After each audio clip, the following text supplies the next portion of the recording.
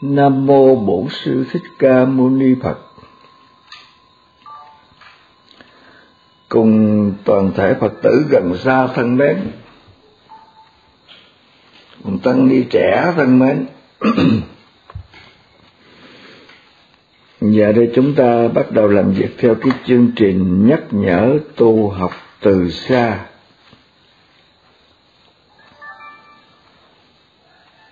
Ờ, như tất cả chúng ta biết. Phật tử gần xa cũng như tăng ni trẻ nếu có theo dõi. Thì chúng ta biết rằng là cái bữa bữa hôm qua là nhằm ngày, ngày 15 tháng 5 năm 2011 đó nhằm ngày 14 tháng 4 âm lịch đó năm Tân Mão thì Ờ, chúng ta hoàn thành, triển khai hoàn thành cái tập 3 tập thứ ba trong năm tập. Nó ta chỉ tăng thì trong cái tập 3 đó, tôi nhắc tôi nhắc cho Phật tử cũng như tăng ni trẻ để ý. Nếu mà muốn học kinh Phật, thì nên để ý học những bài ở trong cái tập 3 nó gần gũi gần gũi với cái cần thiết, những cái yêu cầu của những người Phật tử tại gia. Cũng như là nó là những cái yêu cầu cấp thiết cho những tăng ni trẻ trên đường học đạo hành đạo. Bởi vì ở trong đó đó tôi soạn là coi như là dụng ý soạn cái hệ giáo lý tư đế, đầy đủ tất cả những cái những cái bài vở, những cái tiết mục cần thiết ở trong cái cái cái cái cái cái hệ tư tưởng ờ, ừ, thông thường người ta gọi đó là hệ tư tưởng tiểu thừa, chứ kỳ thật không phải tiểu thừa đâu. Mà đó là cái cái cái cái nền giáo lý căn bản. Tôi có thể nói rằng thêm một cái từ mà không thể không thể ngờ, không ngờ cũng không sợ làm lạc gì đó là nền giáo lý căn bản nhất cho phật tử tại gia cũng như xuất gia. Đó là giáo lý tứ đế. Còn các kinh khác thì dù là Phật dạy nhiều, dạy rộng, dạy nhiều cách pháp môn vô lượng mà bởi vì phiền não vô lượng thì pháp môn Phật dạy cũng vô lượng. Nhưng mà không ngoài không ngoài giáo lý tứ đế, mà có cái gì khác, có thể nói thẳng là vậy. Tất những tất cả những cái pháp môn vô lượng, Phật dạy cho Bồ Tát nhiều mặt, nhiều cách, nhiều ngôn từ thí dụ như trong kinh Quan Nghiêm chẳng hạn. Kinh Quan Nghiêm mà nếu mà các Phật tử mà đòi nghe mà thích nghe đấy, cái này tôi cũng nói ờ, một vài lần rồi. Những cái lúc mấy, mười mấy, hai chục năm trước, tôi giảng ở Sài Gòn, ở thành phố Hồ Chí Minh cũng có nhiều phật tử ừ, đang nghe tôi giảng kinh ờ, đại bát niết bàn. Có lúc thì phật tử đang nghe tôi giảng kinh thủ lăng nghiêm, rồi kinh pháp hoa, vân vân. Thì cũng có số vị phật tử yêu cầu tôi lại giảng kinh ờ, quan nghiêm. Thì tôi nói tóm tắt rằng tôi nói khoan đã cứ nghe những cái kinh mà tôi đang giảng ví dụ như thủ lăng nghiêm hay là kinh duy ma cật hay là kinh pháp hoa là kinh à, như la nguyên giác rồi kinh đại niết bàn tôi đang giảng đấy. Cứ nghe cái này rồi vừa nghe rồi vừa tư duy vừa thiền định. Thì trong đó nó có cái giáo lý quan nghiêm ở trong đó. Bởi vì có những cái chỗ nào đoạn cái nào mà nó thông đồng qua lại nhau thì tôi có thể mượn giáo lý kinh quan nghiêm tôi nhắc nhở qua cho cái lúc tôi giảng kinh Duy Ma Cật. Mà nhất là cái bộ kinh Duy Ma Cật đó là cái giáo lý quan nghiêm gần như trọn vẹn ở trong đó. Nghe mà mà, mà nhận thức cho kỹ mà có tu tu thiền thì bộ kinh với ba Cật là gần như là trọn vẹn. Giáo lý Hoa Nghiêm tóm tóm tắt. Còn nghe cái kinh với ba Cật mà không có để ý, không có hiểu gì, rộng ra được. Chỉ ngôn ngữ văn tự rồi chia cái bộ kinh đó ít là cái nó chưa biết học. Chưa biết học đạo. Đòi đòi nghe cái bộ kinh nhiều giảng ờ, năm này qua năm kia không hết hoặc là cái bộ kinh nó đem ra mà tụng thì bảy ngày, bảy đêm suốt vậy mà cũng không hết thì cái đó không không không phải không phải là cái cần thiết cho cho người học đạo đâu. do vậy mà tôi có nói những cái câu mà nghĩa là những người khác người ta không nói tôi nói rằng nếu mà mà không khéo thì chưa học kinh quan nghiêm thì ngu ít. Mà ờ, học kinh quan nghiêm rồi thì không khéo là nó ngu nó ngu hơn. Nó ngu nhiều hơn. Tăng cái ngu hơn.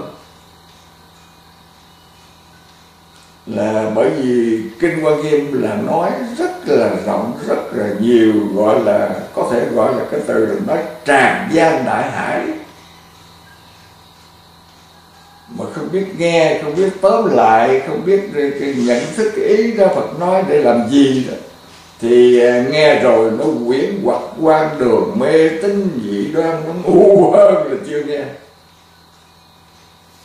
Bởi vì à, nói những cái cách mà các cái vị mà tu hành, mỗi người tu một kiểu, mỗi người được một pháp môn, mỗi người giải thoát một cách đó. Mà tràn gian đại hải như vậy thì mình có biết cái cách nào để mình lấy cách nào để mình làm theo mà làm theo có được được hay không cũng không biết. Đọc vô số pháp môn vô số phương tiện vô số tu hành vô số những cái uh, nhiều những cái nhiều những cái rộng những cái lớn. Mà trong đó là coi nghe không khéo là nghe như nó quan đường hết ờ, quan đường quyển quạt hết ờ, chín mười tám phần trăm. Nếu mà không hiểu thì nghe nó quan đường quyển hoặc hết chín mươi tám phần trăm. Là tại vì theo tôi đó thì tôi cho rằng là trong 12 bộ kinh đó, ở trong kinh quan nghiêm nói về cái bộ môn vị tần hữu rất nhiều. Nói về bộ môn vị tần hữu. Tức là nói những chuyện lạ mà trong đó là phải thiền định, phải tư duy và phải học nhiều bộ kinh rồi mới nắm được cái ý tứ. Cái ý của Phật dạy trong đó là cái gì? Bởi vì trong đó là là nó có tiên dụ hậu dụ rồi ẩn dụ rồi bán dụ rồi biến dụ toàn là tuyệt đại đa số là những cái chuyện vị tần hữu. Tức là nói những chuyện lạ. Việc khác, việc xa, việc rộng ở đâu đâu để mà dạy cho những cái người ờ, có cái thiền định. Tôi nói ví dụ như ừ, cái bộ sách mà gọi là lục xúc tranh công của của Việt Nam có. Bây giờ tôi đọc qua, bây giờ cũng, hiện giờ là không nhớ cái chuyện mà lục xúc thành công là con con heo này con chó này con gà này con uh, con trâu này. Sáu cái con súc vật mà, mà nói chuyện kể nhau mà tranh công lao của mình. Rồi buồn buồn buồn bực với nhau rồi giận dữ với nhau rồi trợn mắt hét to lên như con heo chẳng hạn. Chuyện đó thực chuyện là là văn tự như thế ngôn ngữ như thế. Mà nếu mà mình nghe mà mình nói con heo, nó biết nói, rồi nó trợn mắt lên, nó nạt con chó, nó nạt con con ờ, ờ, con bò. Bò trâu. Chuyện đó là sao nghe được? Nhưng mà à, thật sự là cái đó người ta nghe hay lắm đó. Cái người mà có thiền định, có tư duy, có văn hóa ờ, người ta nghe đó là một chuyện ngụ ngôn mình là ta chửi những cái người mà làm quan mà ở trong một cái chế độ mà mà cạnh tranh nhau công lao để để mà uh, kêu này ừ, tân tân công của mình lên để mà đòi cái quyền lợi cái địa vị rồi triệt hạ lẫn nhau rồi khẩu phật tâm xà rồi sống chung nhau ở trong một uh, trong một cái bệnh gì à, phận gia nô phận gia nô sống chung. Phận gia nô sống chung nhau mà bằng mặt chẳng bằng lòng. Rồi tuần tri kỷ mình đãi bôi nhau với cung cách tâm xà khẩu thật. thế thì cái lục xuất trên công người ta nói lên để ta nhắc nhở cái đó. Nhắc nhở ừ, mình nếu mà mình có làm gì đó ở trong một cái triều đình, một chế độ, mình phải đàng hoàng để làm việc gì cho lợi ích chung thì à, tốt hơn chứ còn vì quyền lợi địa vị danh vọng chức tước mà mình cạnh tranh vậy đó thì người ta mượn lục xúc sáu con xúc vật đó để đưa ra những cái ngôn ngôn từ đối thoại với tinh công đó. Thì cái đó ta mượn câu chuyện ngụ ngôn để người ta giao, giao hóa bằng cái cách mà là, là, là không nói trực tiếp tên ai người nào thế thì câu chuyện đó nó như vậy. Cũng như câu chuyện mà con rùa với con thỏ đó. Thằng nhỏ tôi đọc cái bài ờ, xin kể như tích xưa, thỏ với rùa, hai chú chạy đua, rùa biết thân chậm lục nên xuyên bò, thỏ tự kêu ý tài chạy như mưa. Dân dân rồi lại kiếm gốc cây nằm nghỉ mát cảnh trời, chiều gió vàng hiu hắt hắt đặt lưng làm một giấc thịt ngon, lỡ ngu quên thức dậy kinh hồn mất mất ăn thua rùa đã đến bên thọ kinh tâm thắt sẻ như dông nhưng đã trễ còn gì nữa mong rùa thành công thánh trận cả cười. Cái chuyện mà rùa với thỏ cũng vậy. Người ta viết vậy để người ta nói người ta, giáo dục ờ, ờ, cái khuyến tấn những cái người lười biếng. Giỏi mà lười biếng không siêng năng. Tự cao tự đại tự đắc thể hở tài của mình. Thì cái cái giỏi đó cái tài năng đó coi chừng có thể thua nó còn cái người ta chậm lục ta dở ta không thông minh lắm mà ta cần cù ta siêng học ta siêng làm. Thì cái người mà dở này nè gọi là dở này nè mà có thể thành công là, là, là thắng thắng lợi so với cái người mà ờ, là tự cao tự đại. Thế thì cái ý tôi nó như vậy. Phải có cái người hướng dẫn phân tích như vậy để cho trẻ con nghe hiểu cũng như chuyển lục xuất thành công cũng vậy nó có cái người phân phân tích. Chứ nếu mà mình mới biết chữ thôi rồi mình đọc cái đó rồi mình mình nói sao mà sáu cái con thú sáu con loài vật vậy mà nó nói chuyện hay như vậy nó nó biết cạnh tranh như vậy. Rồi con rùa với con thỏ mà mà sao vậy vậy? Đấy. Thì à, những cái chuyện đó trong đạo Phật thì cũng có những chuyện vậy đó. Chuyện kia bằng vi tàn hữu mượn những cái chuyện xa chuyện rộng chuyện nhiều chuyện lớn để mà mà nói cái cái cái, cái đạo Phật cái phương pháp tu hành. Nó nhiều cách nhiều mặt nhiều kiểu nhiều cách nhiều người. Mà kỳ thật là dạy cho một người. Trong một người có tất cả những cái kỳ vật mà mình nghe như kiểu bậc trường gian đại hải đó nhưng mà cái đó là phải có minh sư phải có thiện hữu tri thức. Người ta nhắc nhở hướng dẫn mới được. Chứ bằng không á, mình nghe rồi ngu hơn nghe chuyện lục xúc thành công rồi là mình tưởng tượng sao mà ở cái thời kỳ xưa rồi, những loài súc vật mà biết nói chuyện nhau giỏi vậy. Hiểu như vậy rồi là là, nó hư hại cái, cái cái đầu óc của mình. Chứ không có lợi gì ích gì hết khi mà đọc lục xúc thành công cho nên cái ờ, cái kinh quan nghiêm đó tôi cũng có nhắc bao nhiêu lần vậy đó. Kinh nó khó khó học. Mà muốn học cái đó mà muốn hiểu được là phải tập thí nghiệm, đọc thử kinh duy Mật cật thập quyền viên khởi đó là tôi rút ở trong kinh, cái tư tưởng của kinh quan nghiêm đó chứ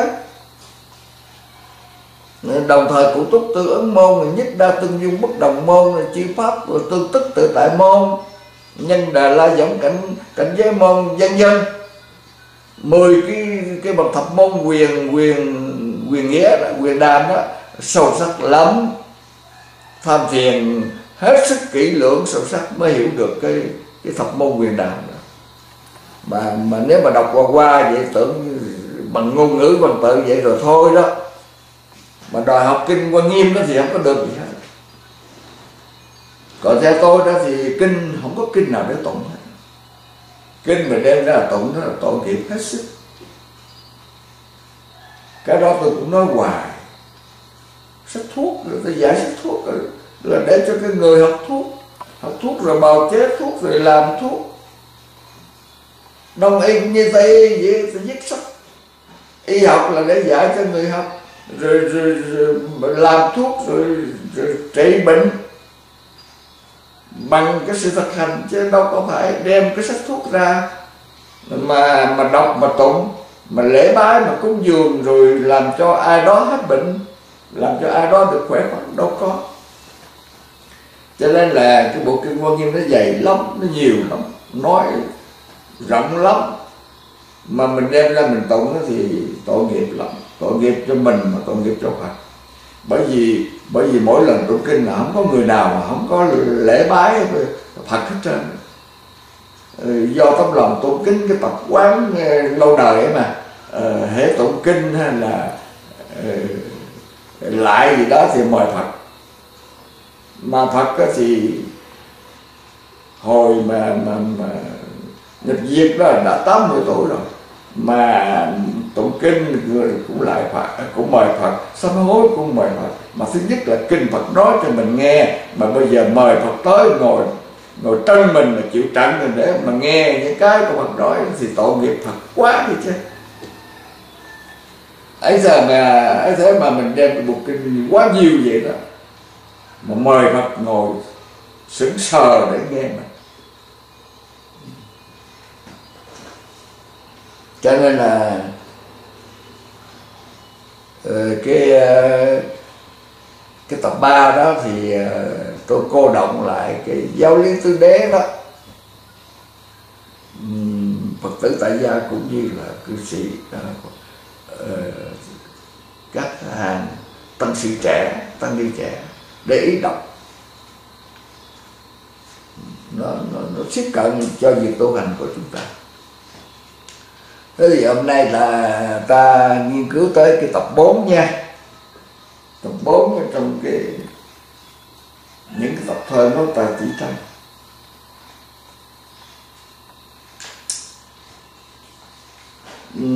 trong cái tập 4 này nó cũng giống như vậy cũng giống như các cái tập 1, 2, 3 nó có ba chục bài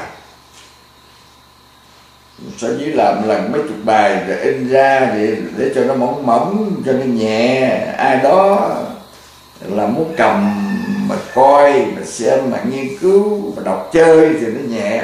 Cho nên là cứ ba chục bài thơ. Ba chục bài thiền thơ. Mà gọi là thơ vậy thôi chứ kỳ thật là là nó là nói nó là thơ cũng được nói là không thơ cũng được nói là kệ cũng được hay là nói cái gì cũng không sao. Nhưng mà tôi tôi nhắc cái này các uh, tăng ni trẻ để ý thử coi ha. Là là gần đây có một số nhà nghiên cứu. Người ta nghiên cứu ờ, hồi xưa là Phật nói Phật nói kinh là bằng bài kệ bằng bài kệ đa số là Phật nói kinh là bằng bằng kệ mà mình gọi là thơ mà thơ nó giống như thơ mà nó không có niêm luật bắt buộc kỹ lưỡng thì những cái bài như vậy tôi gọi là kệ mà hồi xưa Phật nói thì trực, trực tiếp những cái, cái người ghi căn bản cái hồ cái gốc đó là bằng bài kệ ví dụ như bộ kinh pháp hoa bài kể rất nhiều. Còn cái phần mà cái văn xuôi đó mình gọi là trường hàng đó thì cái đó, đó gần như là cái trực chỉ đề cương của tôi viết ngày nay ví dụ vậy. Còn còn cái lời mà Phật dạy nguyên văn đó thì nó lại thành ra bài kệ từ cái bài kệ đó rồi ai đó cái phần những người đệ tử Phật ha là là cái những nhà học giả trí thức nào đó người ta ái mộ kinh Phật ta nghiên cứu rồi ta mới viết ra cái phần uh, văn xuôi. Nó giống như y như là cái kiểu của tôi viết cái trực chỉ đề cương bây giờ. Dựa vào ý thức này thì tôi thấy rằng là tôi không có dùng ý đó nhưng mà tôi làm hình như là tự nó trúng hay sao? tự nó giống. Nghĩa là từ từ cái bài kệ rồi người ta diễn đạt cái văn xuôi để cho người ai đó muốn nghe là, là cái văn xuôi đó nó hỗ trợ ý tứ để giải thích để bổ sung cho cái bài kệ mà Phật nói nó cô động ở trên. Nhưng mà rồi sau đó lại lại người ta đem, đảo ngược. Ai đó cũng không biết đem đảo ngược lại lấy cái cái văn xuôi để mà bổ sung để mà uh, giải thích thêm đó thì lại làm cái văn kinh. Rồi còn cái, cái bài kệ mà của Phật nói đó thì đem làm cái bài gọi là bài trùng tụng. Cái bài kệ trùng tụng. Thí dụ như ừ, Nhĩ thầy Thế Tôn dục trùng tuyên thử nghĩa di thiết kệ ngôn. Đấy lẽ ra nó là cái bài kệ đó lại là cái bài văn văn ngôn mà Phật dạy trong đó. Mà tại vì nó cô động quá cho nên là ai đó tôi viết cái phần văn xuôi để người ta hỗ trợ thêm cho mình dễ mình đọc mình dễ hiểu hơn. Thì gọi đó là cái danh trường hàng mà nếu so sánh thì cái trường hàng đó nó, nó, nó giống như cái ý tứ mà cô tôi viết cái, cái gọi là cái trật chỉ đề cương của những tập thơ này vậy do vậy mà ví dụ như kinh pháp cú mình đọc ra cũng bằng kệ thơ, và các kinh này cũng đều là thơ kệ. Thí dụ như tổ mà làm ra di thức học cũng vậy. Ờ, các vị tổ ta cũng làm bài kệ. Ví dụ như như thế tôn ngôn nhất thiết nhất thiết pháp vô ngã, hà đẳng nhất thiết pháp, danh hà duy vô ngã. Nhất thiết pháp lực hữu ngũ chủng, nhất giả tâm pháp, nhị giả tâm sở hữu pháp, tam giả sắc pháp, tứ giả tâm bất tự hình pháp nhất thiết tôi thân cố chịu tư từng ứng cố. Rồi như sở hình ảnh cố? Tam như sở việc cố? Như thị thứ đệ, dân dân gì dân cũng cũng sáng tác. Các gì đó cũng sáng tác bằng kệ.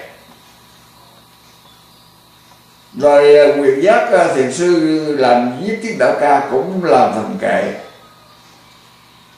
Tôi không biết sao khi không bây giờ là tôi là tuổi già, là tôi chơi kiểu của tôi đó tôi làm ra cũng là kệ.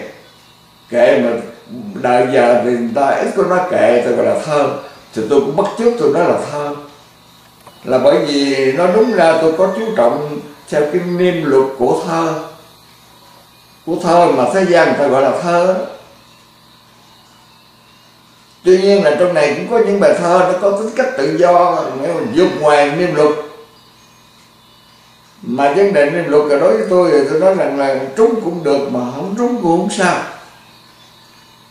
những bài thơ đó là tôi muốn nói cái gì, tôi muốn nhắc nhở cái gì, tôi muốn gửi gắm cái gì cho phật tử và thân niên trẻ. Nếu chịu thì nghe, không chịu thì không nghe. Thấy có cần thiết thì đọc, không thấy thì thôi. Không không, thấy không cần thiết thì khỏi đọc. Còn vấn đề chia khen đó thì tôi không chú ý cái đó. Không quan trọng. Vì vậy mà trong này gọi là thơ mà cũng có khi là kệ. Cho nên bây giờ thì à, nhắc lại là đây là những tập thơ mà cũng gọi là kệ cũng không sao. Thì à, chúng ta đã đã đã nghe. Nếu mà bằng lòng nghe thì nghe được ba tập rồi nhé. Tập này là tập thứ tư đây. Ngón tay chỉ trang thứ tư. Bây giờ tôi đọc thử cái cái lời nói đầu cũng gọi là cái lời tựa của cái tập ngón tay chỉ tăng thứ tư. Ngón tay chỉ tăng bốn vẫn là ngón tay chỉ tăng. Không bao giờ ngón tay là tăng được. Thơ và nội dung nội dung các bài thơ là đề mục đối tượng thiệt nhằm hướng dẫn tu học về thiền. Nhưng thiền là con người, trong thơ không có thiền. Dầu ai đó có cảm tình, có khen tặng, với mỹ hiệu thiền thôi cái này là cũng nhắc một cách ờ,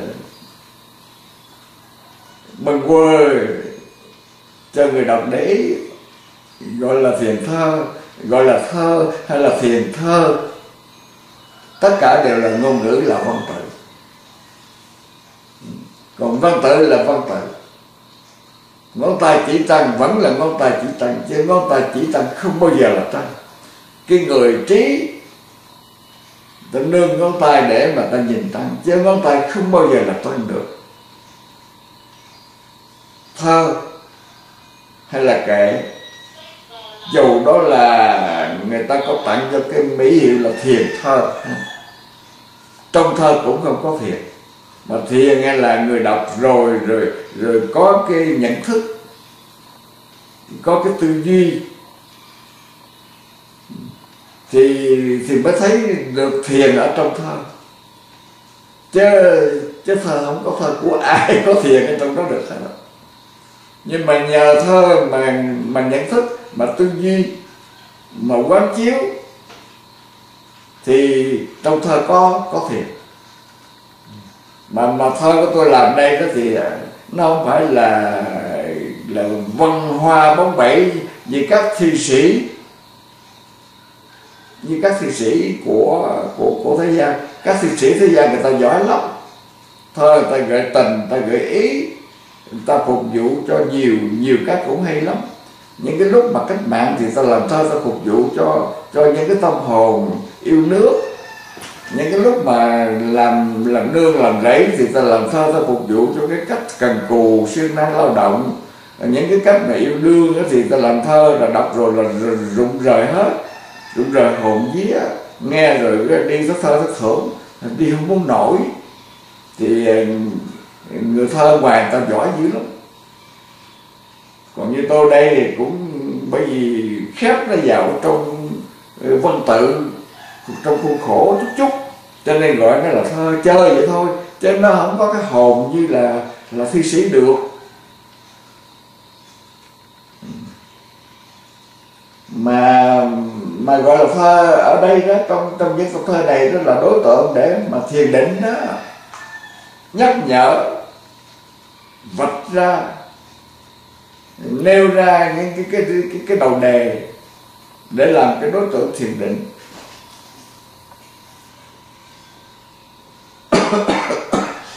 Cho nên đọc này là phải phải phải, phải tập tu thiền. Mục đích của, của tôi viết cái này là vậy. Thiền sư thiền giả thiền viện chỉ là danh văn cú danh là danh ngôn danh từ văn là chỉ là ngôn ngôn ngữ để nghe. Cú là những cái câu mà là người ta ghép lại. Ừ. Chứ, chứ, chứ, chứ trong đó không có gì ghê gớm đâu. Chỉ là danh chỉ là văn chỉ là cú. Trong trong trong kinh Phật gọi là là danh thân rồi văn thân rồi cú thân. Ừ, danh thân thí dụ như là à, mà thôi nói này nói rộng lắm nó không hết rồi nó nhiều quá rồi tao nói tao nói mình khùng tao nói dữ. Chứ, chứ ba cái chữ đó cũng học cũng, cũng phải học ở nhà. Chứ không học là nghe không hiểu đâu. Thiền viện chỉ là danh văn cú người thiền hữu tri thức biết đúng biết đúng thiền đúng hướng dẫn đúng đúng chánh pháp kết quả an lạc. Đó là sự có thật. Ừ. biết đúng, thiền đúng, hướng dẫn đúng. Và tu tập đúng chánh pháp thì kết quả kết quả an lạc. Niết bàn tự mình cảm nhận mà không cần tư vấn với ai cả. đây là chuyện có thật. Nếu mà mình đọc rồi mình nhận thức đúng, mình thiền định đúng, mình mình tu đúng đó là mình có an lạc thật sự. Cho nên là tôi muốn nói với các phật tử gần xa cũng như tân ni trẻ đó ai cũng phải học. Nhưng mà học tới một lúc nào đó, rồi mình phải biến cái sở học đó, nó thành ra cái cái cái trí thức của mình, nó thành ra cái tài năng của mình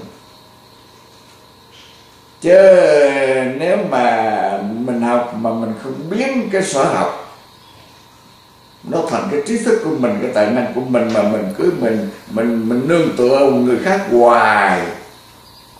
Nương tựa hoài đó là, tức là mình không phát huy được cái tài năng của mình, cái trí tuệ của mình.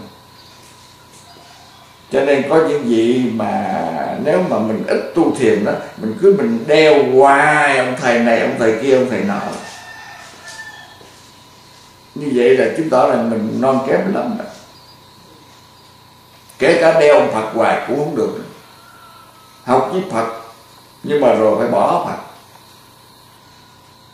Có những có những vị thiền sư người ta dạy đạo, ta nói gặp Phật là giết Phật, gặp ma là giết ma, gặp dung minh phiền não là phiền não là giết dung minh phiền não. Nghe nghe như là ác ghê gớm vậy đó. Nhưng mà kỳ ta không phải ác, thiệt đấy vô minh phiền não là nó là kẻ thù với cái người mà tu tu tập. Nó là cái thằng chú ngục.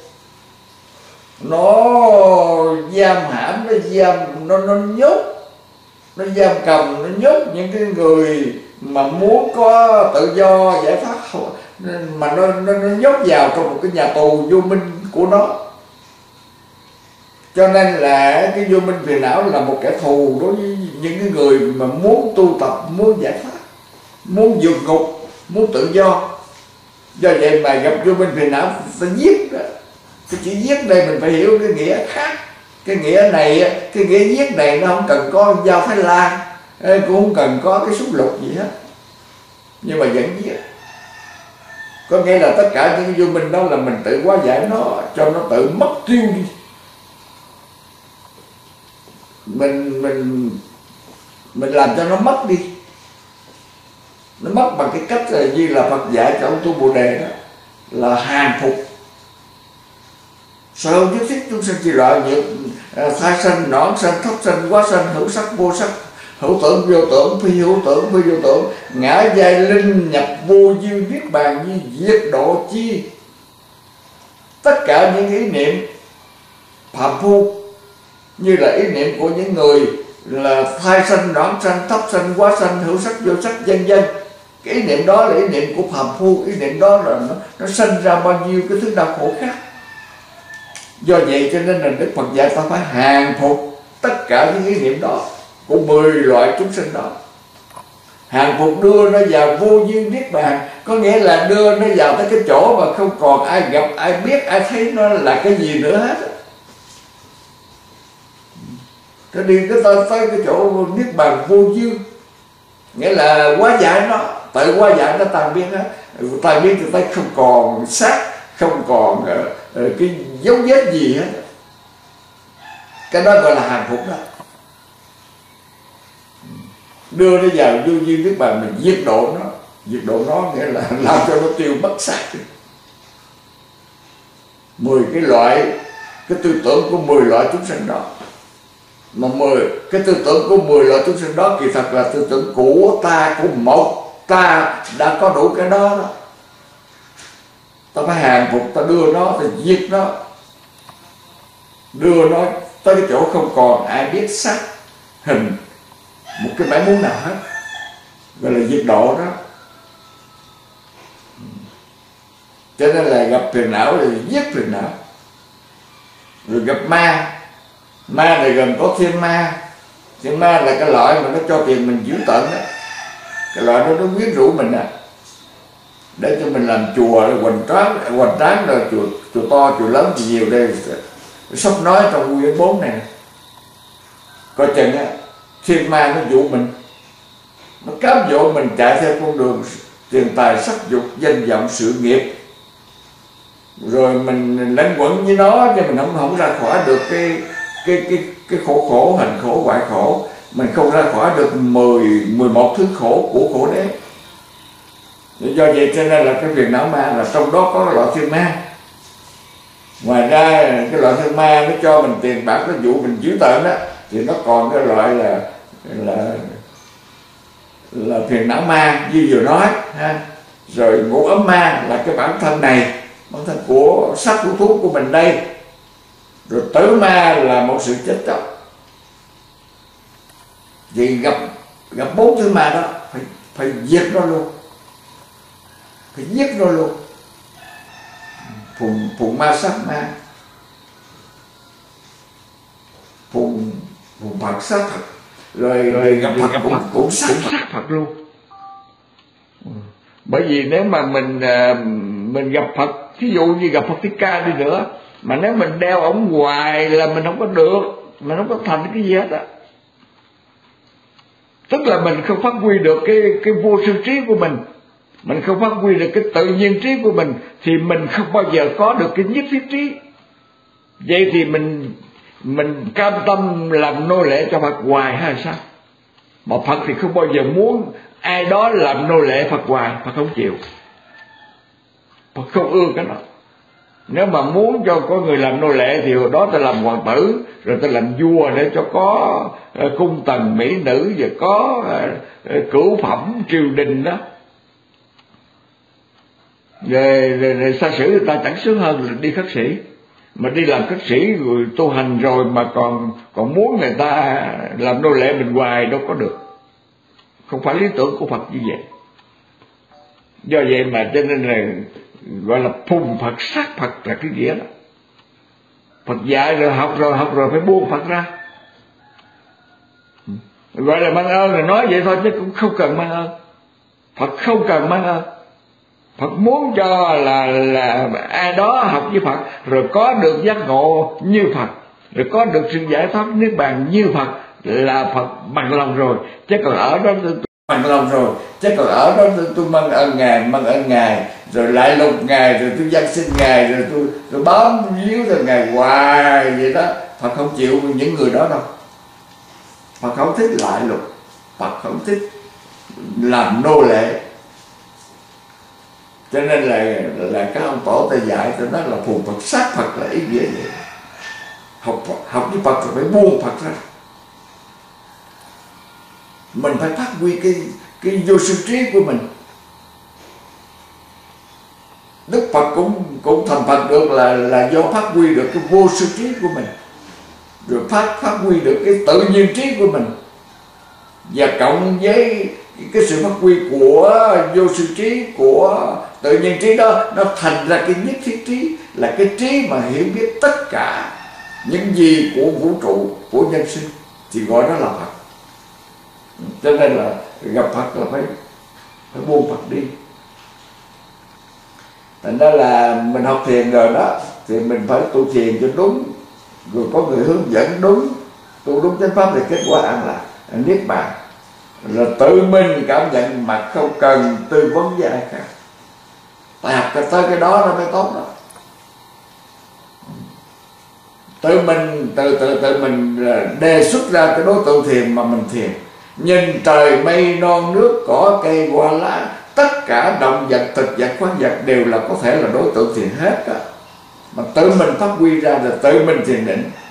Rồi tự mình nghĩa là giết giết tất cả. Hàng phục tất cả.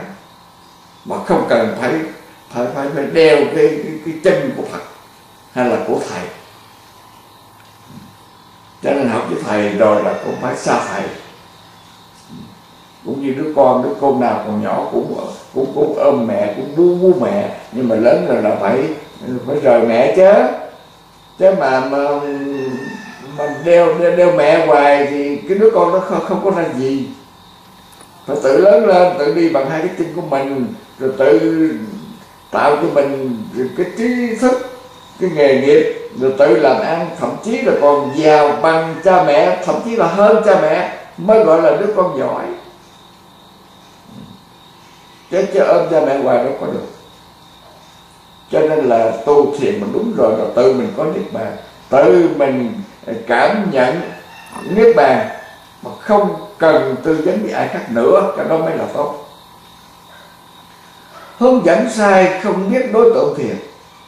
À, cái này để ý nè có những cái gì người ta là thầy mình đó mình kính người ta làm thầy đó mà người ta hướng dẫn không đúng đối tượng tu thiền ta hướng dẫn sai, thậm chí là người ta nói đạo không trúng. Bây giờ thì cái này nhiều lắm, nhưng mà mình không có dám nói tên giờ mình cũng dám chỉ người. Chứ người ta dạy tu cái kiểu không phải đạo Phật đó nha. Cũng gọi là người ta ta cũng gọi là ta dạy đạo người ta cũng gọi là ta dạy tu hành. Nhưng mà cái đạo đó với cái tu hành đó coi chừng. Mình tưởng là đạo Phật mình tưởng là ta dạy đạo Phật mà kỳ thật không phải. Trong đó nó có những cái thứ quyển hoặc quan đường mà không có lý giải được. Cái người mà có trí ta nghe ta biết cái đó là là là xảo ta biết cái đó là ngã, ta biết cái đó là sai. Nhưng mà cũng không phải ai cũng biết có người không biết. Nghe những cái sao vị đó mà không biết là sao vị người, người ta nghe mình mà mình không biết người ta nghe người ta nói người ta thương mình mà kỳ thật ta không hề có thương thiệt. Cho nên tôi mới làm có có cái bài thơ mà, mà thương với yêu. Có là bài thơ thương thương vậy. Giống như người ta yêu thiệt mà không có yêu thiệt. Giống như người ta thương mình nhưng mà không có thương thiệt thành ra mình coi chừng người ta hướng dẫn sai. À, không biết cái đối tượng thiền mà người ta dẫn dạy. À, tập ngồi dạy ngồi nè. Ngồi dai ngồi dài ngồi dạy dột này thì, thì cái thiền viện đó cái tu viện đó nó quá ra thành ra là là một cái một cái hãng một cái xưởng hay là một cái chỗ để dạy ngồi vậy thôi. Do vậy cho nên để ý minh sư người ta dạy mình là tu thiền rồi là mình có thể ngồi thiền bất cứ ở đâu. Hoặc là hành thiền. Hành thiền tức là đi á. Đi bất cứ ở rừng, ở núi, ở sông, ở biển, hoặc là đi tới đi lui trong nhà, hoặc là lật rau, rửa chén, hoặc là có khi đi tắm rửa cũng thiền được nữa. Chứ mà thiền mà mà ta làm cái nhà thiệt đẹp rồi ta trang bị máy lạnh đồ, rồi hoặc máy máy lạnh với nhiều cái đẹp lắm mà vô mà ngồi sắp hàng ờ, nghe băng đó ờ, rồi đi có cái người cầm giống như cái cây chèo vậy đó, đi lâu lâu gõ gõ rồi sửa qua sửa lại, cái đó coi chừng. Coi chừng cái đó. Coi chừng không có phải thiền vậy đâu. Phật rồi chưa đâu có ai cầm cây đi gõ gõ gì đâu. Phật dạy rồi nghe nghe rồi tự tư duy rồi tự quán chiếu. Có lúc ở gần nhau, thầy trò ở trong một miếng rừng cũng được còn có lúc mà mình mình đi cất thực rồi mình ở chỗ khác, mình cũng tu thiền được à. Không cần nghe hàng thẳng lối gì hết á. Mà ngồi cũng được, mà mình đi cất thực cũng là thiền. Chứ không phải nhất thiết là phải tới giờ, đúng giờ rồi mới ờ, ngồi nghe hàng thẳng lối. Cái đó là có chân là thiền ờ, không phải là gốc của đạo Phật dạy vậy đâu. Mình học thì mình tự mình học mình nghe cái gọi là văn. Rồi cái lúc mà mình ngồi thiền hay hoặc mình hành thiền đó hoặc là mình nằm mà mình cũng thiền được. Nghĩa là mình dùng cái trí tuệ mình tư duy mình quán chiếu thì mình nhận thức kể cả trong lúc nằm. Thì ta gọi đó là thiền là là, là thiền là tu thiền rồi đó. Ờ, tức là tư miễn là cái đầu mình có suy nghĩ vận dụng cái đầu có suy nghĩ, có tư duy, có quán chiếu. Đó là thiền đấy. Thì nằm cũng được, ngồi cũng được, đi cũng được, ở đâu cũng được. Chứ không biết chắc là ngồi nghi trong một cái một cái giảng đường hay là cái tính điện gì hết. Cho nên có những người mà chịu chịu chịu tập hợp lại ngồi ngay tính điện đó. Cái đó coi chừng. Tại sao phải ngồi ngay tính điện ngồi ngay chính điện có thật, nhìn xuống để Phật chứng minh ư. Coi chừng cái cái nguồn tư tưởng của mình sai rồi đó. Và ngồi mà ngồi có hàng thẳng lối mà trong một cái giảng đường cả 300 hay là 500 hay là giảng đường thiệt giàu sang lớn, cả ngàn người đó. Cái đó. Cũng phải coi chừng thiết kỹ. Tại sao mình phải ngồi như vậy mới được? Nếu mình không có cái giảng đường như vậy, thì mình ngồi có được không? Mà nếu có được thì là mình học rồi mình ngồi ở nhà mình cũng được vậy. Hoặc là là mình mình đi đi đâu, mình ở đâu cũng được chứ. Cho nên cái chữ thiền là phải phải tư duy đấy nha. Chữ thiền là tư duy. Thành ra người ta dạy mình học thì mình cũng phải văn tư tu đấy tôi tôi rất lo cái này cho nên tôi tôi viết cái này tôi viết cái này là gì? Tôi rất lo cho tăng ni trẻ cũng như là tôi rất lo cho những người phật tử. Ừ. ngồi dai ngồi dài ngồi dạy dỗ có thì thì thiền diễn nè hay là tu diễn hay, hay là chùa gì đó tính địa gì đó là quá ra là thành ra một cái suy niệm để dạy ngồi chứ. Không có kết quả tốt. Thậm chí còn tai họa nữa cơ. Ờ, thế cho nên là trong các kinh có lúc Phật phải nói các ông là những người đáng thương xót. Phật có nói câu đó thỉnh thoảng Phật nói câu đó. Bởi vì những điều như la dạy là là, là, là cái gì cũng như la dạy là là những điều nói đó ai cũng có thể nghe được ai cũng có thể hiểu được và ai cũng có thể hành được vậy mà các ông chậm hiểu quá.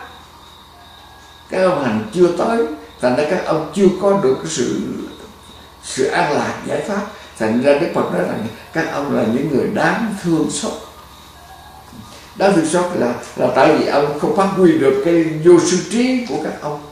Ông không phát huy được cái cái tự nhiên trí vốn có của các ông. Ông không phát huy được, ông không đào tạo nó thành ra, bồi dưỡng nó thành ra cái nhất thiết trí cho nên là là như là phải nói nhiều lần quá. Cái ông phải tu nữa đi. À, đó là nó, cái, cái, cái lời cái lời tựa nhắc nhở cái lời tựa.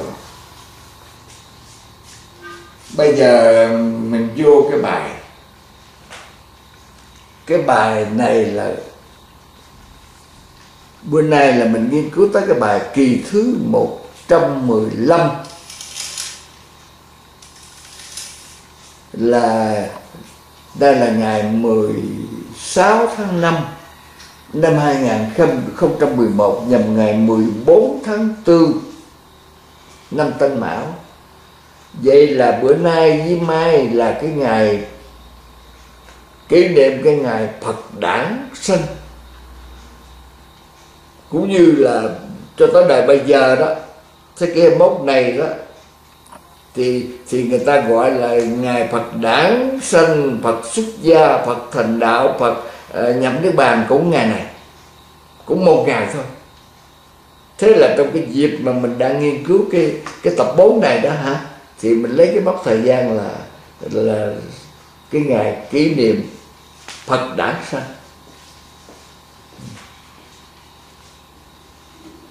Thì cái bài hôm nay là cái nhân đề là lộng lẫy hoành tráng chân ngợp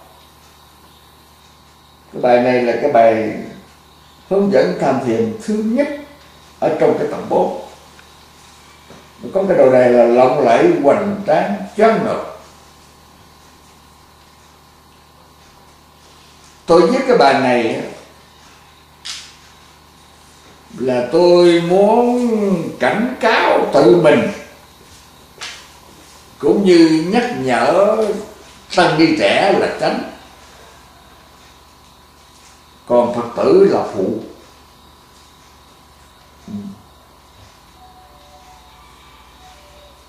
Nhắc nhở tự mình, rồi nhắc nhở tăng ni trẻ. Còn phật tử thì cũng nên nghe, rồi lưu ý về cái đầu đề này để nói lên là chùa đấy. Chùa lộng lẫy, hoành tráng chóng ngợp cũng như là thiền viện lộng lẫy hoành tráng chó ngợp. Cũng như là ờ, tịnh xá tịnh thất, gì đó. Tịnh xá tịnh thất, niệm phật đường hay là chùa hay là thiền viện gì đó, mà lộng lẫy hoành tráng chó ngợp. Là cái bài này nhằm nhắc nhở rằng là cái điều đó đối với đạo Phật. Không cần thiết lắm. Cái đầu đề nói lên rằng là giàu có đó chứ. Lộng lẫy nè nếu mà chùa chiền là là, là, là thiền viện là tỉnh sát tỉnh thất để một đường gì đó mà nếu là lộng lẫy là hoành hoành tráng cái chó hợp thì nói lên sự giàu có phồn thịnh đấy chứ. Nhưng mà thật sự cái đó coi chừng. Mình đi gồm cái đức phật khai giáo mà không cần thiết. Không cần thiết. Cái đó nó làm bận bận biểu, nó rối rắm những người tu dữ lắm đó nha. Nó là cái nguyên nhân ràng buộc buộc chân của những người tu, buộc chân người tu sĩ, làm cho người tu sĩ không bao giờ có những không có những giờ phút an vui được. Không có những giờ phút mà mà không lo lắng. Lo lắng mãi cho tới ngày, có khi có người lo lắng nhất tới ngày mình chết. Mình chết mà không có rồi gì hết. Và sự thật có những người chết còn để lại bao nhiêu tỷ nợ tỷ tỷ nợ để lại cho học trò trả rồi có người học trò nó không trả nổi. Rồi những người phật tử mà cho mượn tiền tỷ tỷ rồi có lẽ là cũng phải đốt nhang đốt nhang dài cúng. Chứ mà chẳng lẽ là mình đi xuống âm phủ mình đòi. Mà âm phủ thì không biết ở chỗ nào, gọi là âm phủ. Nói vậy thôi chứ biết âm phủ chỗ nào đâu. Mà thầy mình giờ nếu mà có đi âm phủ thì mình cũng biết âm phủ đâu để theo rồi còn nếu gọi là theo thầy lên trên cõi ờ, tịnh độ của đức phật di đà và đòi thì có biết thầy có đi tránh được hay không? Theo thông thường ờ, một vị mà muốn đi ngoại quốc ờ, là đừng có thiếu nợ ai trong cái nước. Cụ thể ví dụ như nước việt nam này nè mà mình muốn đi qua bên pháp hoặc bên mỹ bên anh nước nào mình muốn xuất cảnh đó, là mình đừng còn nợ nữa mình mới người ta mới cho giấy thông hành mình đi chứ nếu mà mình nợ tùm lum mà người ta khiếu nại rằng mình còn mắc nợ đó thì ừ, về mặt chính quyền người ta không cho mình đi đâu. Bởi vì mình đi về mình trốn nợ sao? Mình trốn nợ mà cho giấy đi thì vậy là coi như chính quyền, nghĩa là hỗ trợ cái vụ quỵt nợ sao? Cho nên là hãy còn nợ là không được đi xuất cảnh. Nhưng mà nếu là một ông thầy mà còn mắc nợ 5 tỷ 10 tỷ gì đó. Ít nhiều gì cũng vậy. Có người khiếu nại, gọi là còn mắc nợ là không được đi xuất cảnh. Thế thì thầy còn mắc nợ mà làm sao mà về cực lạc? Làm sao về tới phương cực lạc? Để lên ở với Phật Di Đà được. Như thế thì lên ừ, theo thầy đi lên cảnh giới cực lạc để đòi nợ không có rồi đi xuống địa phủ địa phủ, địa ngục cũng không biết ở đâu mà đòi. Giả lại nữa, nếu mà thầy mình đi xuống địa ngục, đi xuống địa phủ, mà mình đi theo thì chẳng lẽ là mình phải bỏ cái sắc thân ngu của mình chưa chết và mình phải làm cho mình chết như thầy mình hay sao? Thầy rồi mình cũng chưa muốn chết. Tuổi mình mới có, mình là thuộc về phần Phật có tiền, đại gia, mới có bốn chục, năm chục, sáu chục mình còn sử dụng thọ dụng cái cái tài sản của thế gian.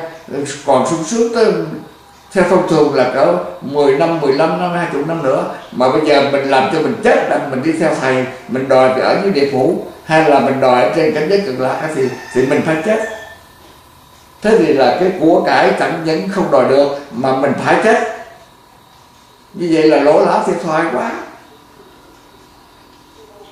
đấy, cho nên cái này là cũng để ý đó nha. Cái mà cái mà mình làm chùa chiền cho cho lộng lẫy, cho quỳnh tráng cho chó nào đều không có lợi cho bản thân mình và cũng không có lợi cho những người phật tử thí chủ mình giúp đỡ mình đó. Và và và mình có thể là trái lại với đức phật của mình nếu mà phân tích kỹ thì mình, có thể xem thường đức phật của mình, đức bổn sư của mình. Là tại vì đức phật bổn sư của mình ờ, không có tài năng bằng mình ư.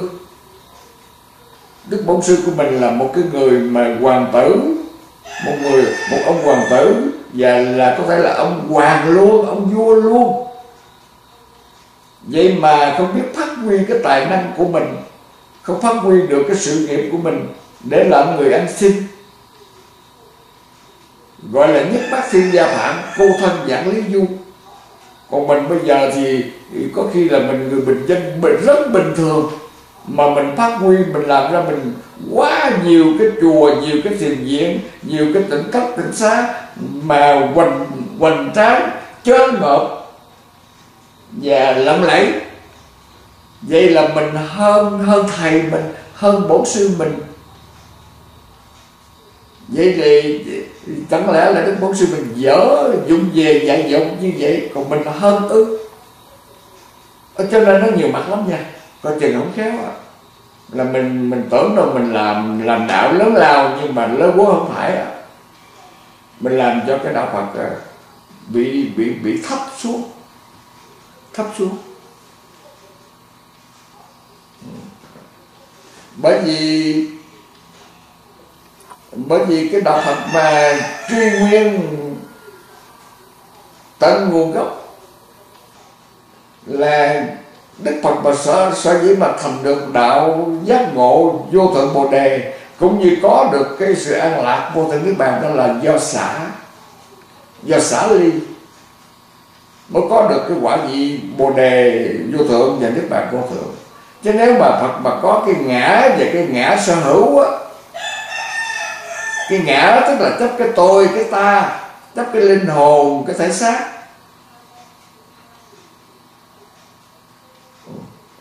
Chấp cái thể xác. Rồi chấp trong cái thể xác này có cái linh hồn, rồi trường tồn vĩnh cửu bất biến.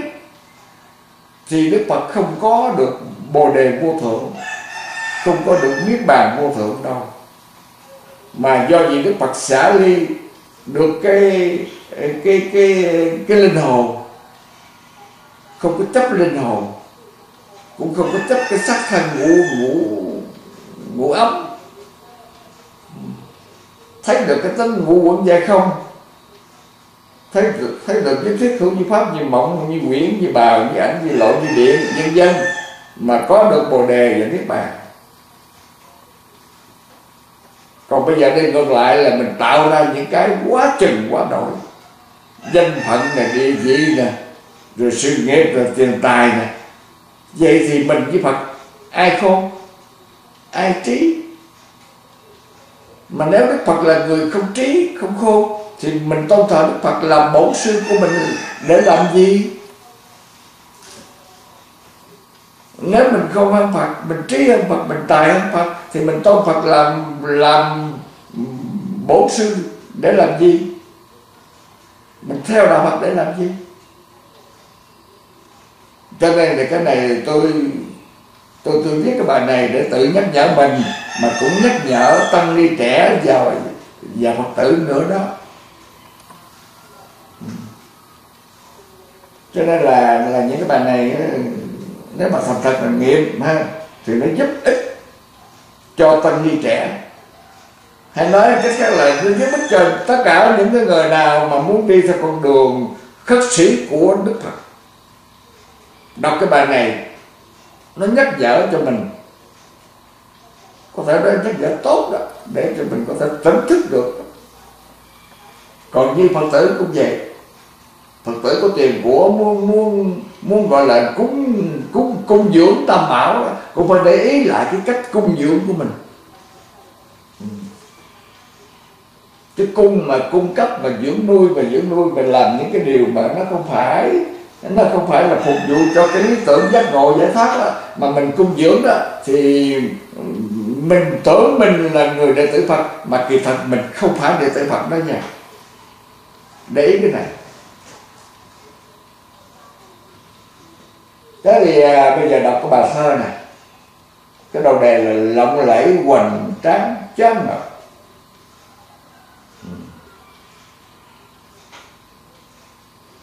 cái bài thơ này tôi tôi làm cái kiểu ngang tài cái tự do tự do tới cái mức mà người ta có thể gọi là tự do tới mức ngang tàn bởi trong này, tôi tôi dùng cái chữ mà tôi kêu trời đó. Cái chữ trời ơi này nè. Cái chữ trời mà tôi gọi trong này đó, có bao nhiêu từ kêu trời trời ơi trời ơi đó tôi tôi đủ sức biết được là là, là trời ở bên ngoài không có. Không có cái ông trời cái bà trời gì hết. Nhưng mà cái tập quán của dân tộc Việt Nam mình đó, là gần như là là có cái gì mà có vẻ như là lo lắng ưu tư hay sợ hãi gì đó là thường hay kêu trời. Ừ cái gì mà ta có vẻ sợ hãi một cách đột ngột, ngạc nhiên, người ta kêu trời. Mà tôi cho rằng là người ta vẫn biết là không có trời nào để giúp đỡ được gì hết á. Nhưng mà tại vậy đó. Thí dụ như là đi đường mà gặp dấp và té, ngã một cái gì, ngã xuống trong một cái cái dũng, một cái ao nào đó, cái trời ơi, chết tôi hay là đi bới củ chặt cây gì đó mà nó lỡ lên da vào trong cảnh ta ý trời chết tôi. Hoặc là leo cây rồi cái thang nó ngã cái trời chết rồi chết tôi rồi. Thì cái tiếng kêu trời là vậy đó nghĩa là một sự hái hùng ngạc nhiên có vẻ lo âu sợ sệt cái kêu trời. Thật ra tôi mượn cái, cái, cái ý đó mà tôi viết cái chữ trời ơi trong cái cái bài thơ này nó vừa ờ, mượn cái từ bình thường để nói lên cái sự ngạc nhiên sự lạ lùng vượt ra ngoài cái cái bình thường của, hiểu biết của người tu. Chứ còn ờ, cái chữ trời là tôi có làm bài thơ đó. Tôi có làm bài thơ để nói để nhắc nhở hoàng tử là trời không có thiệt. Cái bữa nào tôi đốt cái cái cái, cái khói đốt khói bình minh khoảng đâu là à, tám giờ sáng rồi đốt khói đi chơi. Rồi khói nó lên nhiều quá là tôi làm bài thơ là trong khói trong khói bình minh nở sập trời. Khói nó lên một vùng trong trong vườn tôi mình trong cái chỗ mình nó giống như là là mây trên trời nó sập suốt vậy đó. Nó mịt mù vậy đó. Trong khói bình minh nở sập trời khói mây mây khói giống in nhau. Mây cao khói khói mây cao khói thấp trời vô xứ thập thiện nơi nào chỗ đấy trời. Mây thì cao khói thì thấp bình đất nhưng mà còn còn mình mình nói ngỡ sập trời đó chứ kỳ thật không có phải.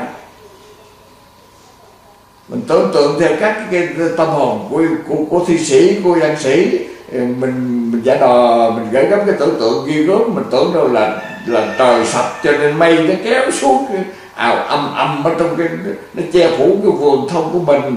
Mình gọi là là trong có bình minh ngỡ sập trời. Cái đó bất chấp dân sĩ tưởng tượng. Nhưng mà rồi chợt tỉnh lại trời à, là mây cao khóa thấp trời vô xứ. Khói mây mây khói giống in nhau. Nhưng mà mây thì ở trên ở trên cao còn khói thì ở dưới thấp. Nhưng mà dầu một cái trên cao một cái dưới thấp nhưng mà nhìn giống in nhau. Cho nên mới là có cái ngạc nhiên ngỡ ngàng rằng tưởng là là trời sập. Mây cao có thấp giống in nhau. Mây cao có thấp trời vô xứ trời không, không có trời là ai hết chỗ nào có người tu thực thiện là là người đó là trời. Cái chỗ người đó ở là chỗ trời. Thế giới của cõi trời đó thế thì là tôi đã hiểu như vậy. Nhưng mà ở đây tôi có mượn cái từ đó để nói lên những sự ngạc nhiên. Ừ. bây giờ tôi đọc bài thơ này. Sự nghiệp trời ơi, pháp lữ ơi. Pháp lữ là bạn đạo của tôi pháp lữ là người bạn pháp? Cái người bạn có thể là người bạn học đạo, cùng học chung, cùng quen biết trên đường tu hành. Gọi là pháp lữ. Sự nghiệp trời ơi, pháp lữ ơi. Trời ơi, sự nghiệp hết hồn tôi. Rồi tôi thấy sự nghiệp nó hoành tráng nó chớp ngợp, nó lộng lẫy quá, nó hết hồn tôi. Trời ơi, sự nghiệp hết hồn tôi cơ đồ trăm tỷ, trăm trăm tỷ. Pháp lữ sao huynh giỏi quá trời. Giỏi quá trời. Huynh làm sao mà mà huynh giỏi dữ vậy chứ? Phật Thích Ca hồi xưa tu làm Phật mà đâu có giỏi dữ vậy. Đâu có sự nghiệp trời ơi vậy đâu. Chó ngợp vậy đâu. Hoành tráng vậy đâu. Ừ. vậy là huynh huynh huynh tu sao mà huynh giỏi quá?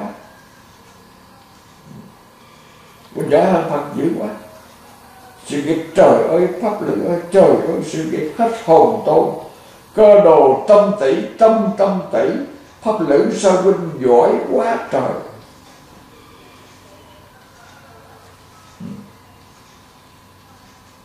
Đó là một vé bốn câu, còn bốn câu thứ hai. Pháp lữ sao huynh giỏi quá trời. Pháp gì huynh thuyết đại gia nghe? Vàng dân bạc hiến trăm trăm tỷ, đạo đức huynh cao vượt thích ca. Ừ. Cũng cũng là một sự ngạc nhiên nữa. Tại sao đệ tử Phật mà cách đây mấy ngàn năm trăm hơn mà bây giờ đạo đức lại cao tột dữ vậy không cao hơn Phật thích ca. Phật thích ca hồi xưa không có đi sinh về được đâu không có đi nguyên đi tới làm được cỡ vậy đâu. Thành ra pháp pháp lĩnh sao huynh giỏi quá trời. Pháp gì huynh nói, đại gia nghe. Hồi xưa phật thuyết pháp là dạy người ta tu vậy đó. Tu tu, không tu, thôi. Nghe ừ, được cỡ nào thì hành theo cỡ nấy.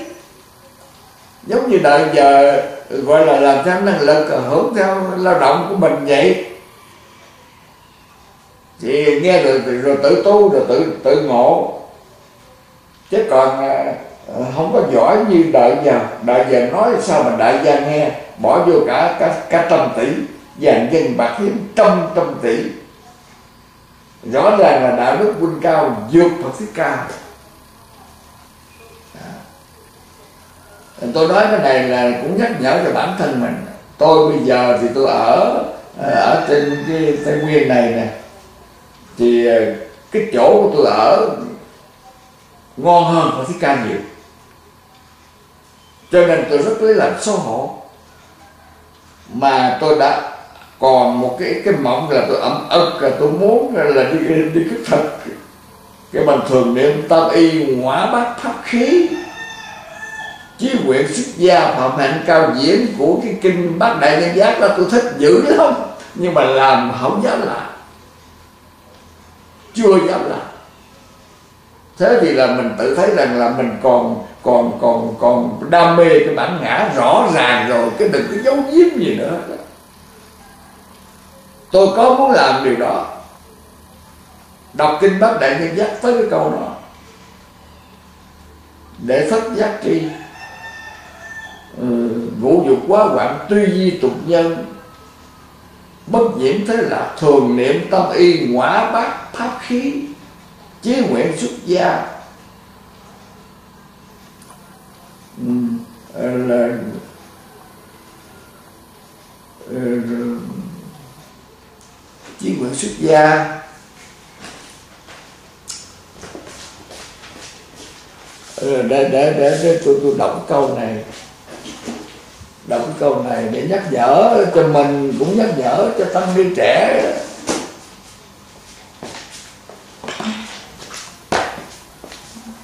Kè ơi kinh tôi là chừng mất hết trơn về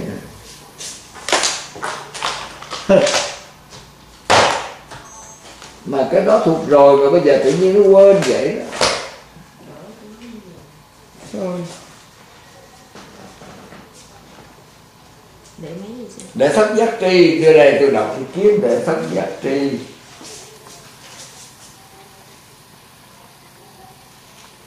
Này gia cũng nên để ý.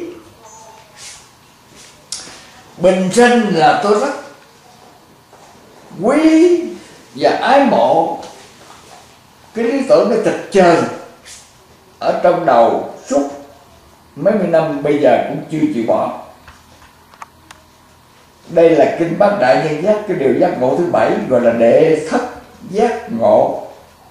Ngũ dục quá hoạn, tuy vi tục nhân, bất nhiễm thế lạc thường niệm, tam y ngõa bát pháp khí. Chí nguyện xuất gia thủ đạo thanh bạch, phạm hạnh cao viễn từ bi nhất thiết.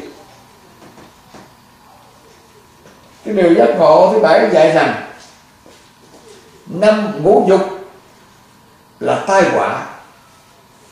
Ngũ dục là tài sắc danh thực thùy đó. 11 là, là nguyên nhân của đau. Ngũ dục là tai họa. Tuy là người người thế tục nhưng không nhiễm dục lạc. Thường nhớ ba y bình bát và pháp khí chí mong được xuất gia, giữ đạo luôn luôn trong sạch, hành thanh tịnh ờ, giữ đạo luôn luôn sạch và cái hạnh thanh tịnh cao xa và từ bi đối với tất cả. Tại ra đây lại có cái cái chữ là chí nguyện xuất gia thủ đạo thanh bạch phạm hạnh cao diễn từ bi nhất thiết và thường niệm tam y ngõa bát pháp khí. Đức phật tu đơn giản vậy đó, thường niệm tam y thôi. Và bình bát. Và tọa cụ ngoại cụ, dân dân có chút đỉnh nè cái đó đó mới là có cái nhân của của bồ đề nước bàn đấy. Chứ còn cái chùa chiền mà hoành tráng trớn hợp lộng lẫy đâu có được.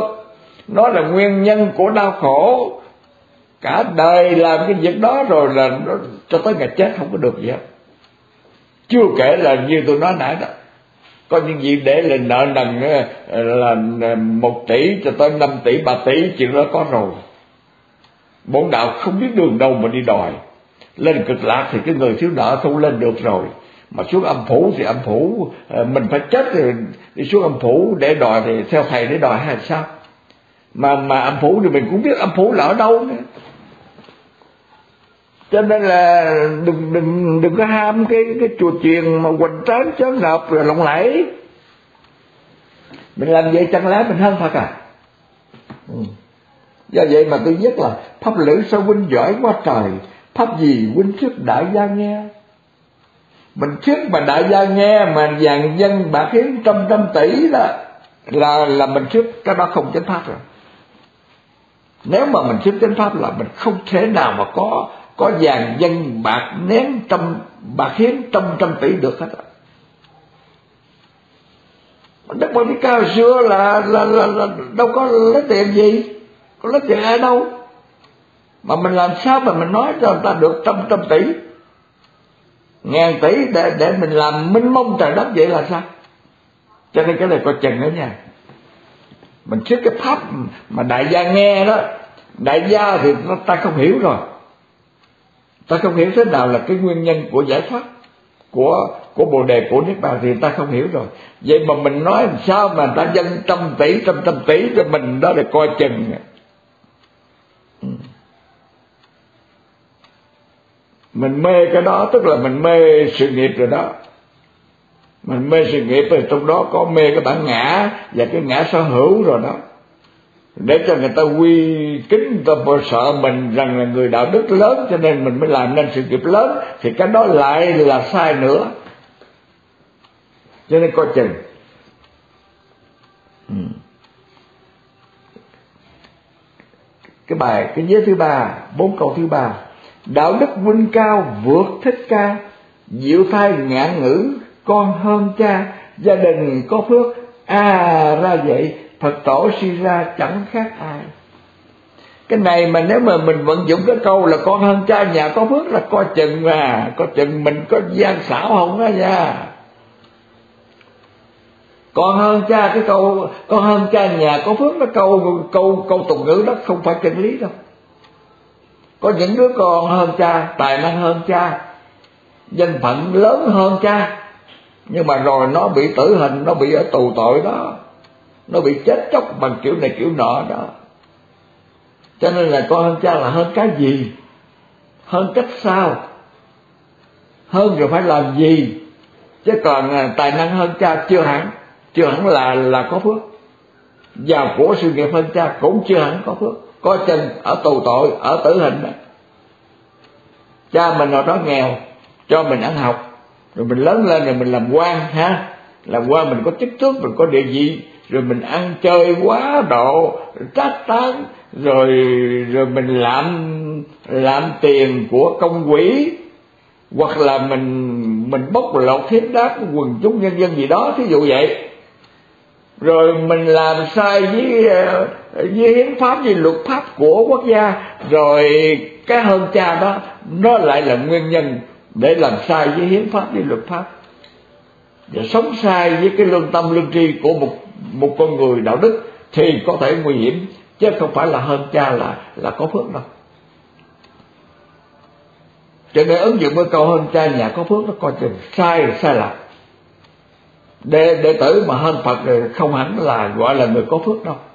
Ấy thế mà phật tử tại gia có những người không có biết, không có được minh sư giúp đỡ cho nên là gặp những cái ông mà giàu có sự nghiệp lớn lao hoành hoành hoành tráng ờ, chó ngợp và uh, lộng lẫy vậy đó là gặp là sợ dữ lắm lại dữ tợn. Lại cút thêm nữa. Bởi vì cái ông này nếu mà ít phước thì đâu mà có giàu có vậy.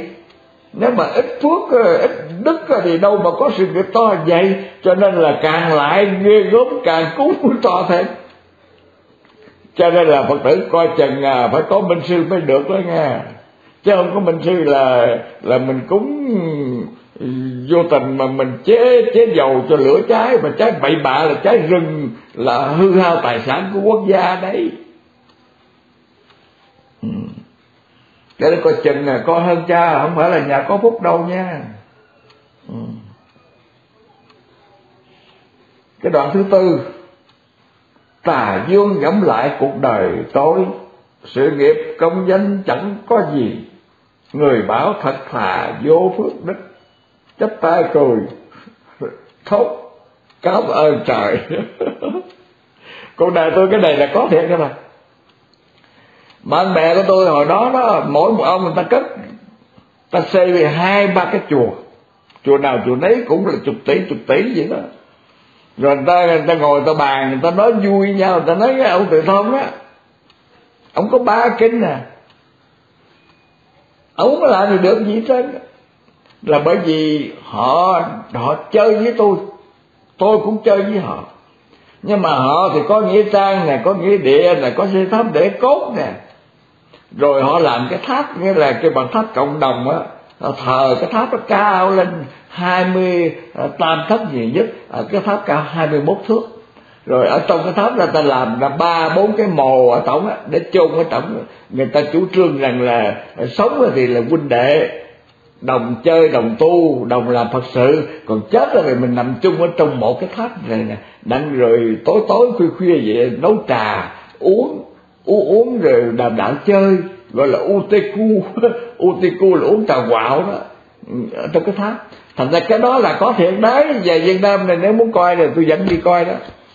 Một cái tháp mà người ta làm ở trong đó chôn sáu cái mã. Sáu cái mã của sáu vị hòa thượng huynh đệ nhau. Để để nữa là Utiku chơi đó. Đấy. Còn còn ta nói với ông từ thông đó, coi vậy đó, không có à, không có được cái gì hết chỉ có ba kinh thôi à mà thiệt, tôi cũng cười thôi à. Tôi cười xà vậy à.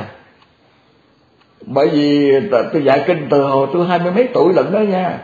Đặc biệt cái là lúc mà còn học ở trong trường Phật học là là cái cái cái ban giám đốc, cái thầy mình đó, cho mình dạy, cho mình dạy lại cái đám cái đám huynh đệ mà tuổi lớn hơn mình nữa. Bằng có, nhỏ hơn có, lớn hơn có. Mà tôi được dạy ngay cái lúc mà họ tôi học vậy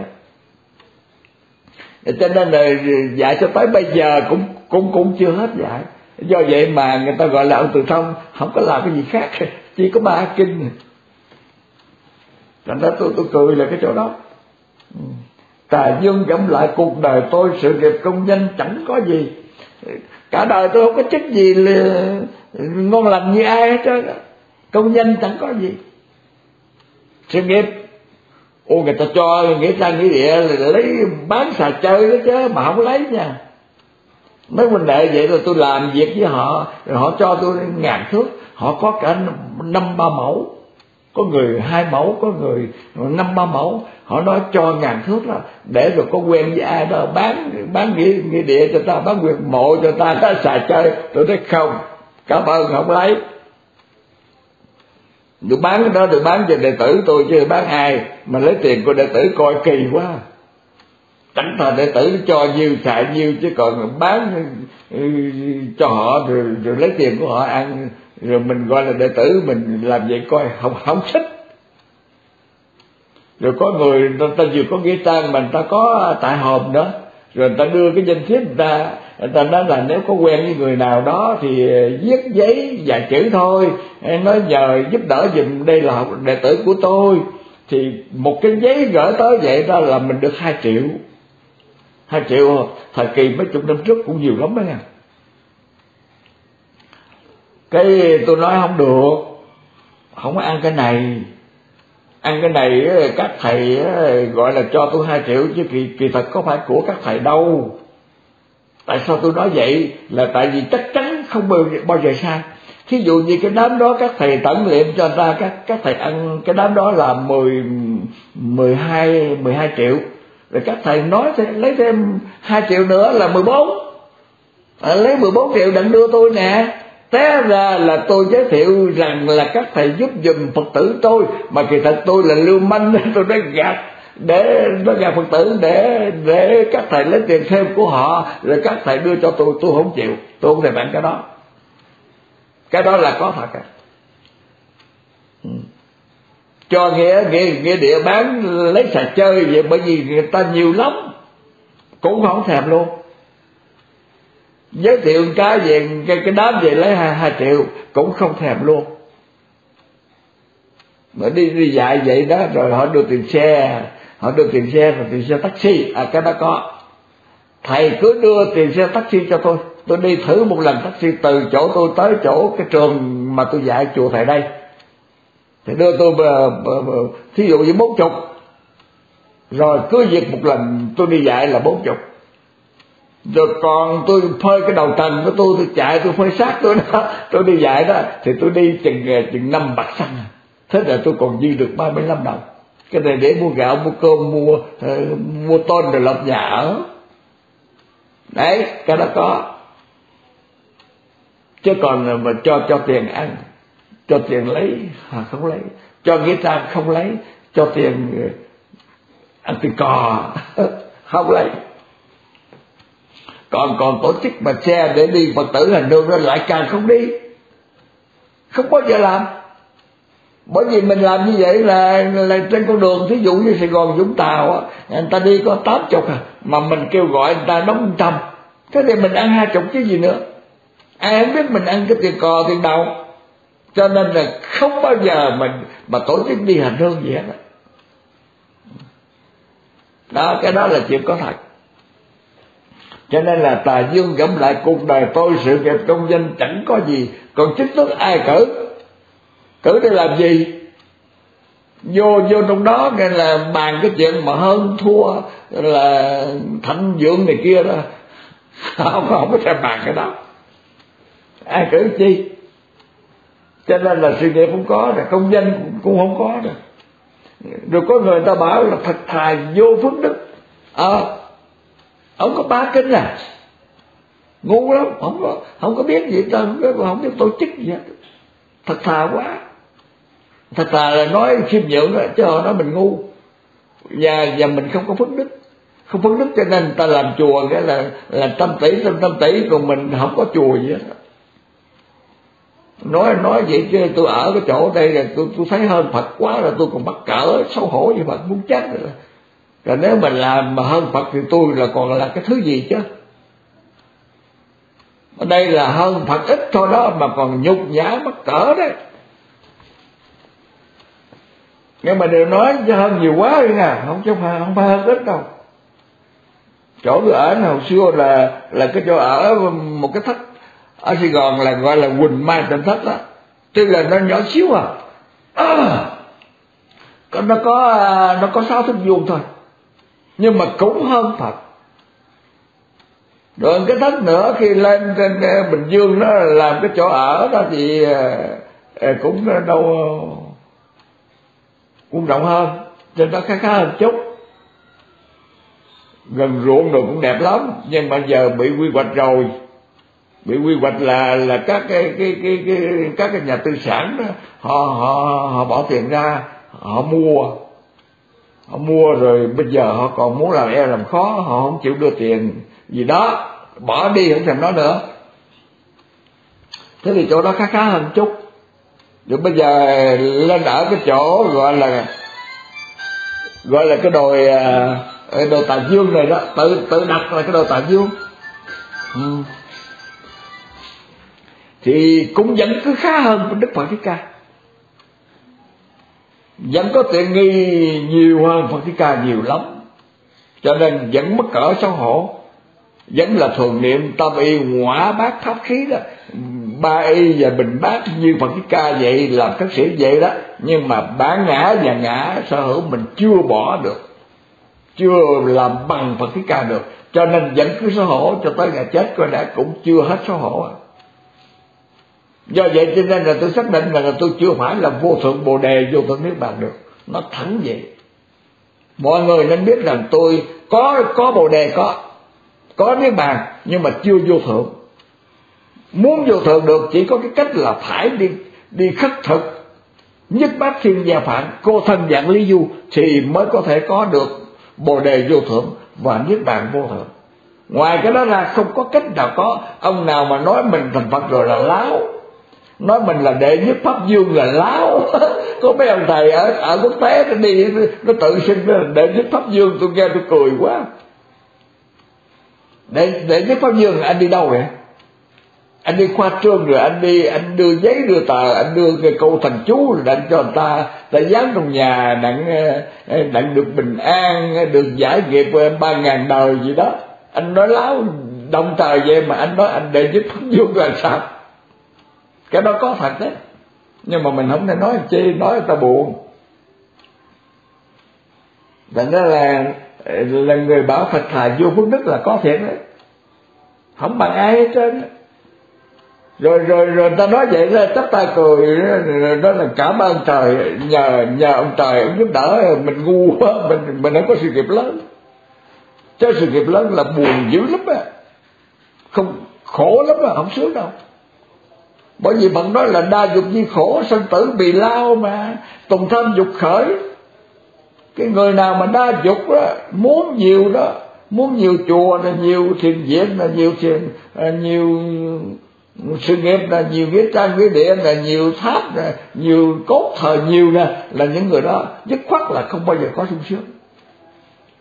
Nó sướng với cái ảo tưởng của của vật chất, mà còn cái sướng của giải thoát, của tự do của giác ngộ không có. Cái đó là chắc chắn như thế. Cái đó là phật nói chứ không phải là tôi đặt ra đâu đó nha. Cho nên là phật, phật tử mà gặp mấy ông mà giàu có mà lại giữ đó cái đó có chừng đó. nếu mà mà nói đừng sợ mà các vị ghét thì cái là mình ngu dữ. Ngu dữ lắm. Ờ, nếu mà mình quý phật thì mình đâu có đâu có lại vậy mà nếu mình lại cái những ông giàu này mình mới cho họ là cái người đáng ghi gớm mình đáng lại. Vậy thì đức phật thích ca nghèo hồi xưa khất sĩ vậy thì mình mình nghĩ thế nào về đức phật? Chẳng lẽ đức phật là ngu à? Đức phật là không đạo đức à?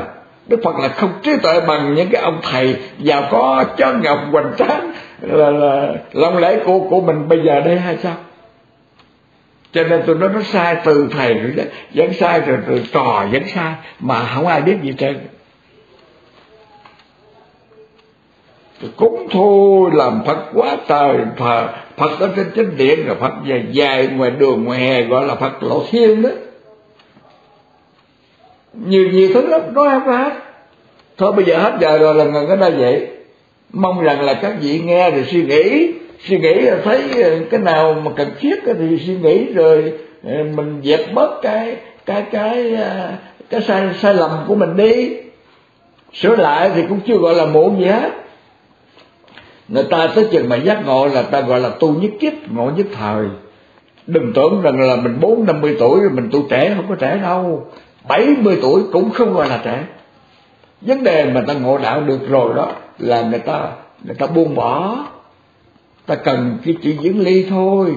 Con phật ta cần học diễn ly, tránh xa các độc tham sân si, vượt ngoài ba cõi, ngay quê mẹ là, là giải thoát tiêu giao tại cõi này. Nếu mà giác ngộ là trong vòng một một giờ phút nào đó giác ngộ rồi giữ vững cái niềm giác ngộ đó là từ đó là ta có an lạc ngay ta có giải thoát giác ngộ ngay.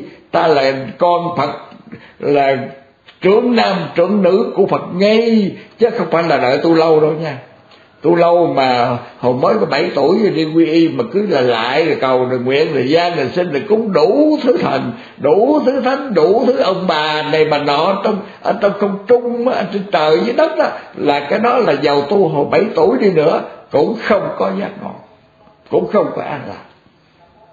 Người biết học, người biết tu 70 tuổi chưa gọi là một 80 tuổi cũng còn chưa gọi là một bởi vì có câu là tu nhất kiếp, ngộ nhất thời mà ta giác ngộ rồi là tất cả những cái gì ta buông bỏ hết rồi. Thì còn tội lỗi ở đâu nữa? Đau khổ đâu mà còn nữa với người ta? Do vậy cho nên là đừng sợ. Nếu mà nhận thấy cái lẽ phải rồi, cứ cứ tập buông bỏ. Buông bỏ là nguyên nhân của của bồ đề vô thượng, của niết bàn vô thượng đó. Tôi xin gần ở đây vậy. Chúc an lạc, tinh tấn.